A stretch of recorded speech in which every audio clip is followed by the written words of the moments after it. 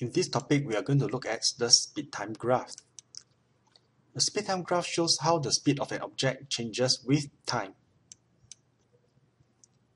Now let us interpret the speed time graph here.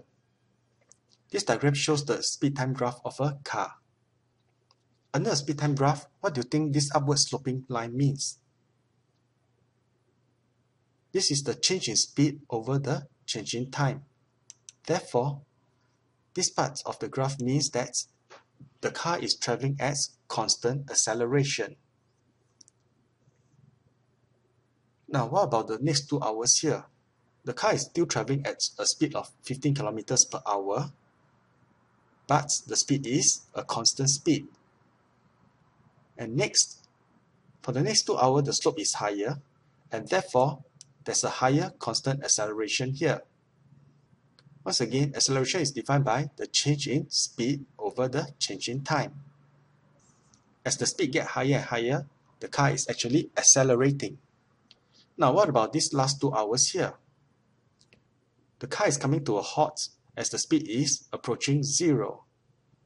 And therefore, the car is having constant deceleration or what we call constant retardation. And we can find the retardation by finding the gradients of this line here. Once again, do take note that acceleration is equal to the change in speed over time. Now let's look at what the area under a speed time graph means. To recall, the total distance formula is given by the average speed times the total time. Here we have a speed time graph, and the speed time graph here is a horizontal line. Now let's find out what is the speed at t equals to 0, t equals to 2, t equals to 4, and t equals to 6. It is at a constant speed and therefore the speed is 3 meter per second. To find the average speed, we will add up these four numbers here and we will divide by 4 to give us 3 meter per second as well. Total distance is equal to the average speed times time and therefore we have the average speed to be 3 meter per second and the time is 6 seconds. So we have 3 times 6 to give us 18 meters. Now the area under this speed time graph is a rectangle and hence the area is simply 3 times 6 to give us 18 square units.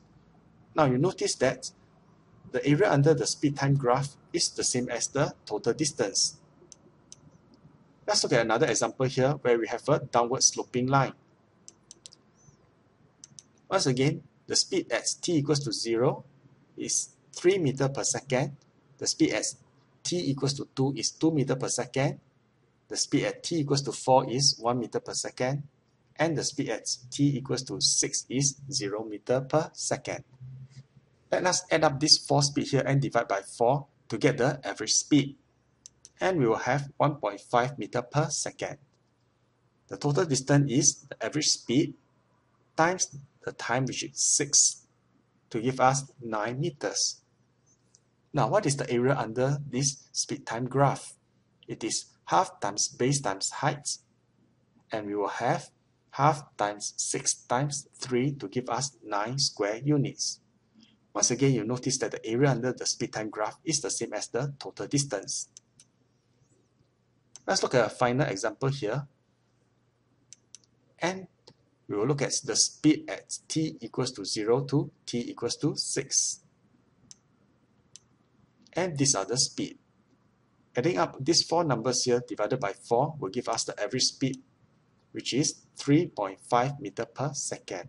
The total distance equals to average speed times time, which is 3.5 times 6, to give us 21 meters. And the area under the speed time graph here is a trapezium and we will have half brackets 2 plus 5 which are the parallel sides times the perpendicular height which is 6 and we'll have 21 square units. Again, the area under the speed time graph is equal to the total distance. Therefore, in conclusion, the area under a speed time graph is equal to the distance traveled. Let's look at an example here. We have a speed time graph of a boat.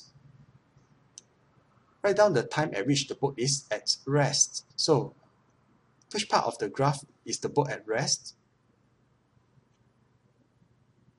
Yes, the boat is at rest when the speed is 0, and hence the time is 0 hours and 8 hours. Next, we're asked to find the speed of the boat at which t equals to 1.5. Now, let the speed be x here, and similarly, we'll use similar triangles, and we will use the ratio of their corresponding length. Now, the height of the smaller triangle is x, the height of the larger triangle is 35. The base of the smaller triangle is 1.5 and the base of the larger triangle is 2. Multiplying 35 on both sides, we will have x equals to 26.25 kilometers per hour. Next, we're asked to find the deceleration just before the boats came to rest. And we are actually looking for the deceleration here. Deceleration is the change in speed over time the change in speed is 35 and the time is 3 hours and we will have 11.7 kilometer per square hours. Do take note of the units for acceleration. This is rounded off to three significant figures. Now let's find the total distance traveled. And how do we do that?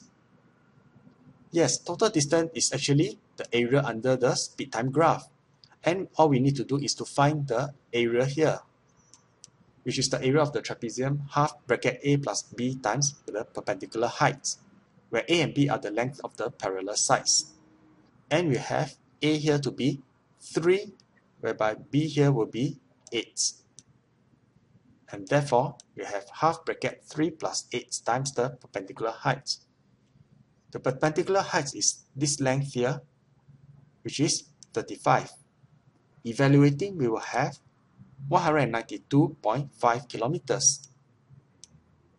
We are told that the boat is at constant speed from t equals to a to t equals to b.